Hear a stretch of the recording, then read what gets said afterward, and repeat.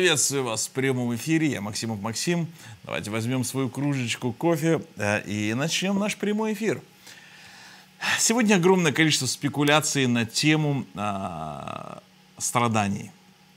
И сегодня в нашей интернет-общении Дом Веры, сейчас на экране вы увидите наш веб-сайт, э, наше интернет-общение Дом Веры, э, мы изучаем Священное Писание. И я начинаю серию учений на тему страданий – Вообще страдают ли люди, зачем они страдают, почему страдают, нужны ли нам страдания, посылает ли нам страдания Господь, или а, это мы сами придумываем все страдания.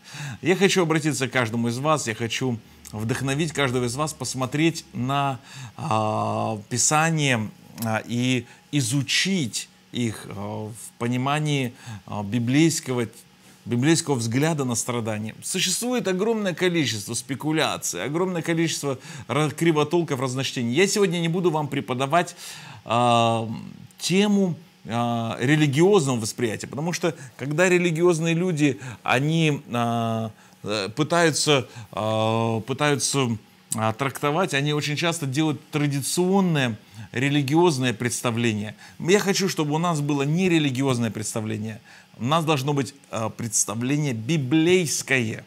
Многие люди не хотят библейское, они хотят религиозное, православное, там, баптистское, еще какое-то восприятие. Я вам хочу, чтобы у нас было восприятие не через призму вашей доктринальной а, церковной группы или вашего, вашего конфессионального восприятия этого вопроса. Я хотел бы, чтобы мы посмотрели на то, как на это смотрит Библия. Очень просто и лаконично я не хочу, не, мне не, интерес, не интересно ваше мнение или мнение ваших э, религиозных группировок и ваших э, предков, которые думали, что э, на кого Бог пошлет. Помните, когда мы подкидывали кирпич с детьми и разбегались в разные стороны с криком «на кого Бог пошлет?» И у всех складывалось мнение, что это Бог посылает кирпич на кого-нибудь. А в действительности это не так. А, и мы посмотрим, что говорит... Об... Вот послушайте, есть, есть мнение... А, традиционное, религиозное. И есть мнение библейское. А что Библия на эту тему говорит? Конечно же, все, кто говорят, что Бог посылает нам проклятие, страдания, чуму, мор, болезни, смерть, это Бог на нас послал. Это Он нас хочет чему-то научить. Он такой злой, Он нас учит чему-то. Бог не злой. Бог добрый, Бог благой, Бог хороший. Поэтому не нужно приписывать Богу то, чего у него нету. Ну что ж, а, дорогие домверовцы, вы взяли свою кофе, надеюсь. А, давайте начнем с этой темы. Господь, благослови нас. Благослови нас изучать Священное Писание. Благослови нас получать откровения. Благослови нас познавать Твою волю. Мы хотим знать Твою волю. Аминь. Ну что, давайте начнем а, с изучения. Итак, а, Священное Писание – а, говорит нам, вообще книга Иова древняя, давайте начнем с этого. Самая древняя книга, а, то есть она была написана раньше всех, раньше всех. Это поэтическая книга, она была написана в рифму, то есть это как песня была или рифмованная, рифмованная книга. Это книга э, эмоционального переживания. Если в двух словах передать, кто-то из вас, может быть, не читал, книга Иова начинается с того, что на небесах где-то там встречаются Господь и дьявол, и у них идет диалог. И диалог за Иова. После этого у Иова начинается череда проблем – одно, второе, третье, четвертое, у него начинает, он теряет имение, теряет э, семью, детей, у него начинаются проблемы. А потом он сам покрывается проказой и весь сидит в проказе и скребет себя а, черепком. Вот. И вот а, Иов а, скребет себя черепком. Дальше приходят к нему его друзья и начинают ему говорить это у тебя, это у тебя, это, это у тебя. Это. Каждый начинает умничать. Мы поговорим о том, о чем говорили его друзья. Но а, в конце а, Иов, а, пройдя свой путь, получает все обратно в два раза больше. А, и еще живет достаточно хороший промежуток времени. Давайте прочитаем книгу, а, послание Иакова в Новом Завете, сразу же после Евангелия. Откройте, пожалуйста, послание Иакова. Здесь написаны такие потрясающие слова, послание Иакова, а, и я вместе с вами открою, чтобы вам было полегче. Если у вас есть э, ручка, конспект, то думаю, что было бы неплохо вам конспектировать. Это библейское изучение Библии. Послание Иакова, страница 160, 170, наверное, 172. Послание Иакова, 5 а, глава, и будем читать 11 стих. Страница 172 в Синодальной Библии. «Вот мы ублажаем тех, которые терпели. А, вы слышали о терпении Иова и видели конец оного его от Господа, ибо Господь весьма милосерд и сострадателен. Господь весьма милосерд и сострадателен. Вы видели не начало, а конец. Ну что ж, давайте не будем а, долго кривиться и сразу же обратимся к концу. Какой был у Иова конец? Переходим к книгу Иова, к последней его главе. А, или давайте начнем с Иова сначала, а потом перейдем к концу. Кто был Иов до а, страданий? Кто Иов был до страданий? Иова а, первая глава, и с первого стиха начнем. С первого по третий стих. Иов первая глава, с первого по третий стих. Иов, был человек в земле Уц, имя его Иов. Книга пророка Иова, сейчас на экран выведет, вот. А, этот был человек непорочен, справедлив, богобоязнен и удалялся от зла. Ну, красавчик просто. И родилось у него семь сыновей и три дочери, десять деток. Имение было следующее. Семь тысяч мелкого скота, три тысячи верблюдов, 500 пар валов и 500 ослиц и весьма-весьма много прислуги. Знаете, как мне интересно всегда, что считали ослиц и вер, верблюдов, а вот прислугу не считали. Это как-то интересно получается. И был человек знаменитее всех сынов Востока. Короче, крутой человек. Три тысячи верблюдов, 500 пар валов, это значит 1000 быков, 500 а, ослиц и весьма много прислуги. Давайте посмотрим теперь самый конец. Идем в самую последнюю главу этой книги, 42 глава, страница 568 а, в Старом Завете. Открывайте. Под конец Иова. Мы читали в Иакова, что конец Иова от Господа. Не начало. Конец Иова от Господа. Это нужно четко, чтобы мы четко понимали, что у Иова конец Иова был от Господа. И я буду читать со стиха 10. «И возвратил Господь...» Кто возвратил? У меня вопрос к вам. Кто возвратил потерю? Иова, 42 глава, 10 а, стих. «И возвратил Господь Иову а, потерю Иова, когда он помолился за друзей своих и дал Господь Иову больше того, что он имел прежде. И 12 стих, сразу же перейдем на 12 стих. «И благословил Бог Иова последние дни, более нежели прежние». Посмотрите, 12, а, 12 стих откройте, пожалуйста, не 11, 12. А, «И благословил Господь последние дни Иова более нежели прежние».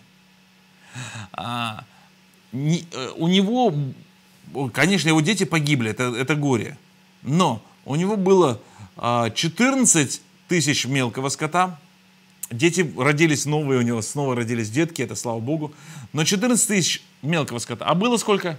Давайте, кто помнит? Было 7 тысяч мелкого скота, стало 14 тысяч. Дальше, 6 тысяч верблюдов. У него было сколько? 3 тысячи верблюдов. Дальше у него было 500 пар валов, а теперь 1000 пар валов. И ослиц у него было 500, теперь 1000. М, потрясающе. Потрясающе. И 13 стих. У него было 7 сыновей и 3 дочери. И дальше он дает им имена. И вот последний стих, 17 стих. Откройте 17 стих. Самый последний стих. «И умер Иов в старости, насыщенный днями. Насыщенный. Он насытился. Иова 42 глава, 17 стих. Насыщенный днями. Он насытился днями. Стихом выше, один стих выше. 16 стих. После того Иов жил 140 лет. Вот после этих всех событий Иов еще жил 140 лет. Все прошло, Иов еще продолжал жить 140 лет. Боже мой. И видел сыновей своих и сыновей сыновьих до четвертого рода. Потрясающе. Итак, Иаков, брат Господа Иисуса Христа, пишет, что Иов видел сыновей до четвертого рода, прожил 140 лет, получил имение в два раза. Конец Иова от Господа. Конец Иова от Господа. Когда многие говорят, что начало проблем Иова от Господа, я не нахожу в этом библейского подтверждения. Когда мне говорят, что это Господь на него послал все зло, это неправильно. Это перевирание фактов. Господь не посылал на него проклятие и зло. Он прожил долгую, благословенную жизнь, и тут начинает возникать, Иов всю жизнь страдал. Вот 42 главы, пока читаешь, вся жизнь Иова была в страданиях. Вы знаете, что интересно, что а, зададимся таким вопросом, а сколько лет страдал Иов? Вот по вашему мнению, книга Иова, если кто читал, сколько лет страдал Иов? Он прожил после, давайте предположим, что после страданий – он жил еще 140 лет. Предположим, что у него а, родилось 10 детей.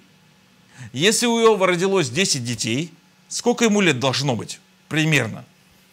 Ну, если в год по ребенку, и женился он, а, скажем, в 25 лет, то где-то ему должно быть около 40-45 лет. То есть у него должно быть где-то 40-45 лет. Получается, что если Иова 40-45 лет, плюс еще он прожил 140 лет, то тогда получается всего он прожил 180-200 лет. Теперь, вот здесь между его 45-летием и а, сколько прошло времени, когда Иов страдал?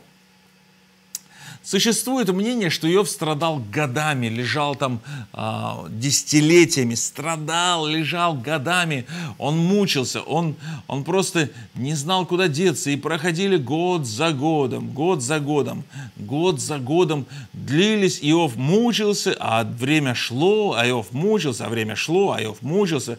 И вот это время не кончалось, оно продолжало, и вот он уже даже не знал, уже сил нету. А, такое, знаете, как преврат обратное мнение, что Иов а, страдал много десятилетий, много а, лет страдал, создается впечатление. Но когда мы читаем Писание, мы обнаруживаем совершенно другую картину. Страдал ли Иов десятилетия, столетия? Интересно. Ну давайте посмотрим, а, что Писание по этому поводу говорит – а, говорит ли Писание по этому поводу хоть что-то? Конечно, говорит. Иова, 7 глава. Откройте книгу Иова, 7 глава. И э, 3 стих. Начнем смотреть, что Иов говорит. Иова, 7 глава, 3 стих. Здесь написано, это э, в начале э, его страданий. Когда тогда так я получил в удел месяцы суетные и ночи горестные отчислены мне. Иов говорит, что он получил в удел месяцы суетные. Дом веры, вы меня слышите? Я обращаюсь к прихожанам интернет-общины Дом веры. Мы с вами изучаем, пожалуйста, участвуйте в этом а, обсуждении. Месяцы суетные, не годы, не а, десятилетия, а месяцы. Ну, ты скажешь, ну это 27 глава. Может быть, в 7 главе еще только месяцы были. Хорошо.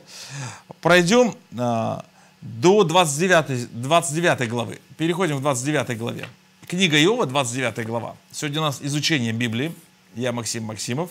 И мы с вами изучаем Священное Писание а, на тему книги пророка Иова. Что Писание говорит? 29 глава с 1 стиха. И продолжал Иов возвышенную речь свою и сказал, «О, если бы я был молод, как в прежние месяцы, как в те дни, когда Бог хоронил меня, а, когда светильник его светил над головой моей, и при свете его ходил среди тьмы». Посмотрите, Иов говорит, как в прежние не годы, а месяцы. Это уже второе подтверждение. Другими словами, а, ну, мы говорим о том, что в прежние месяцы, в прежние э, промежуток, то есть я, я не знаю сколько, месяцев может быть много, может быть 12 месяцев, может быть 18 месяцев. Но я предполагаю, если бы э, э, был год, он бы сказал, как в прошлом году или в прошлом десятилетии, э, месяц это месяцы. Могу предположить, что его страдания длились, может быть, я так думаю, от 6 месяцев Потому что он не сказал один месяц, месяцы от 6 до 12-15 месяцев. Другими словами, это был промежуток его страданий месяцы, не всю жизнь. Это был короткий промежуток жизни. 40 лет примерно до страдания, 140 лет после страдания и несколько месяцев с вами страдания. Вы улавливаете мою мысль? Я хочу еще раз, чтобы вы подчеркнули мысль, задумались над ней. Пожалуйста, драгоценные мои, подумайте. Прежние месяцы. А, Бог, вы понимаете разницу между годом и э, месяцем? Это большая разница. Его страдания не длились вечно. Следующее. Когда смотрят на книгу Иова, а, многие люди начинают цитировать. И вообще книга Иова на 90% состоит из речей. Что значит случилось? Вот смотрите, первые несколько глав книги Иова, а, первые несколько глав книги Иова, это э, история, когда у него все началось. А, и с третьей главы к нему приходят, с четвертой главы приходят друзья и начинают свои речи. И вот каждой главе это речь какого-то друга или Иова. Они рассуждают, философские речи. Каждый говорит, а вот это вот это, а вот это вот это, а вот это вот это. И вот друзья, они говорят всякие гадости. Они говорят, ну, цитируют странные вещи. У них странные идеи. И каждый из друзей имеет свою, э, ну, давайте так, свою философскую концепцию, свое философское э, ощущение миром. И вот что говорит Бог по поводу друзей Иова? Когда вы слышите, что проповедник цитирует что-то из Библии, из книги Иова, и ссылается на речь друзей Иова, когда он ссылается на речь друзей Иова, и говорит, вот смотрите, что в Библии написано – вот здесь написано, в Иова, в такой-то главе, там написано, что вот это, вот это, вот это. И многие говорят, о, о вот это серьезно. Давайте сейчас посмотрим. 42 глава. Откройте, пожалуйста, 42 главу. Э, и прочитаем 7 стих. Когда все заканчивается, и вот Господь э, говорит не только к Иову, но говорит и к его друзьям. И было после того, как Господь сказал те слова Иову, 7 стих.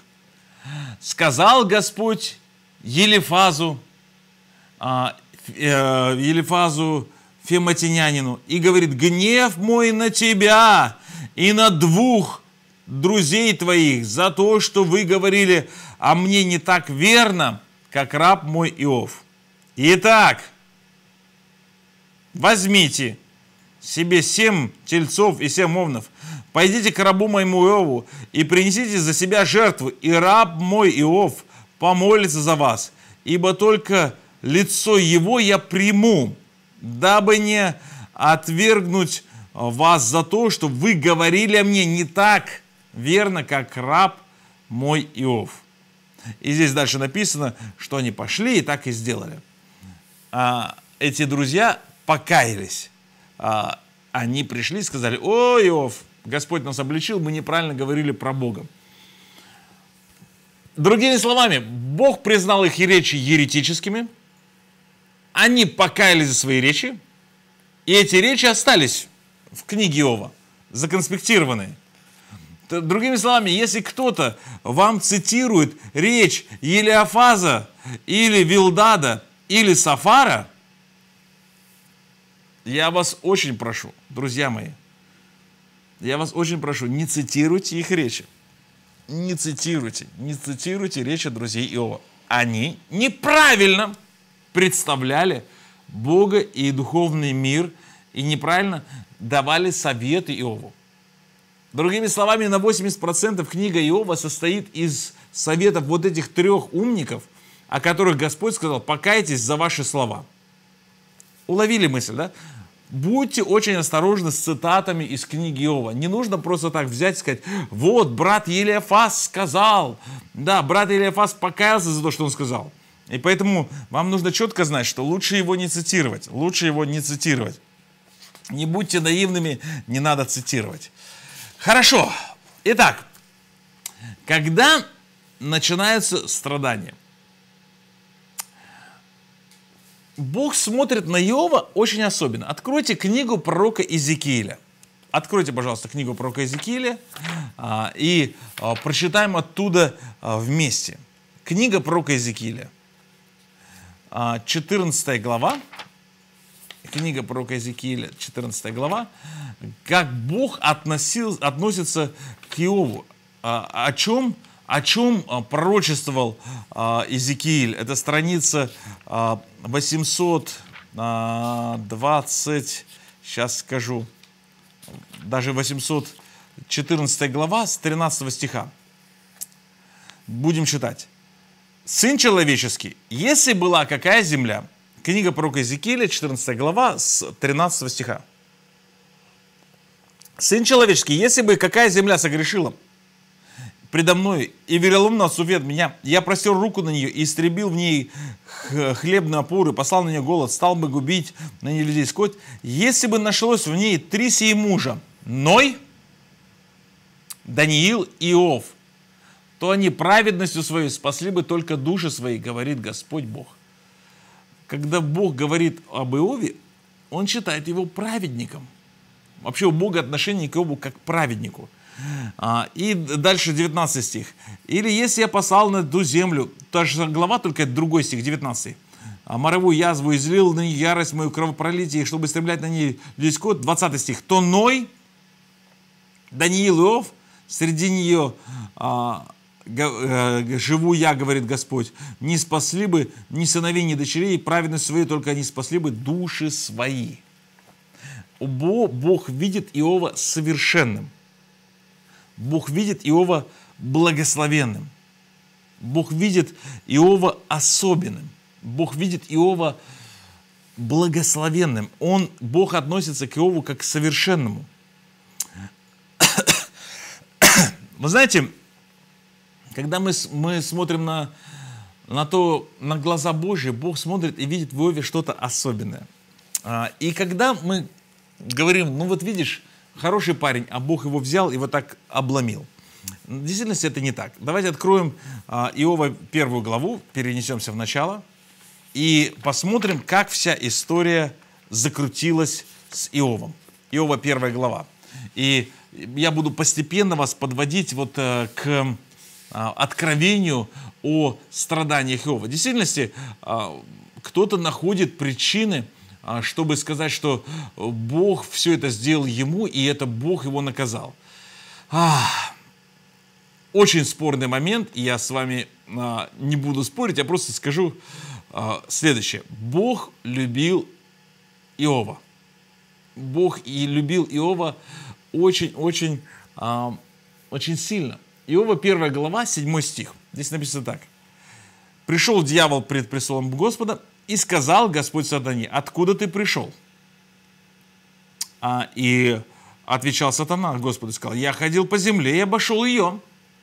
И сказал Господь сатане, 8 стих, а, а, обратил ли ты внимание твое на раба моего Иова? Ибо нет такого, как он на земле, человек непорочный, справедливый, богобоязненный, удаляющийся от зла. Бог любил Иова, ценил Иова – и был удовлетворен им. Бог гордился Иовом как человеком, который находился в правильной позиции перед ним. Бог очень любит тебя. Бог гордится Иовом. И когда пришел дьявол к Богу, этот змей подколодный, Бог говорит, там есть мой парень, мой парень особенный, мой парень великий и благословенный. Давайте посмотрим а, Луки 22 глава. А, откройте Луки 22 глава и а, прочитаем стих а, 31. Дьявол пришел, чтобы а, разрушать, вообще концепция дьявола разрушать все, что Бог созидает. 31 стих. «Искал Господь Симон, сын, Симон, все сатана просил, чтобы сеять вас, как пшеницу. Но я молился о тебе, чтобы не скудела вера твоя, как ты некогда обратившись, утверди братьев твоих. Сатана просил сеять вас, как пшеницу. Эта ситуация очень похожа, а, похожа на ситуацию с Иовом. Смотрите, 12 стих. Иова, 1 глава, 12 стих. Иова 1, 12. «И сказал Господь сатане, вот все, что у него в руке твоей, все, что у него в руке твоей, только на него не простирай руки твоей. И отошел сатана от лица Господня». Вы знаете, а, вот здесь начинается вся ситуация. Весь мир лежит возле. Дьявол управляет этим миром дьявол Господен, а,